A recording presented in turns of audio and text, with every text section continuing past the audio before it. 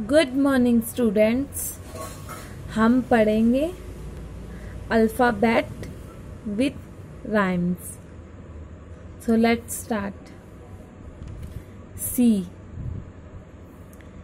C for cat loves to run after the rat repeat the rhymes C for cat loves to run after the rat.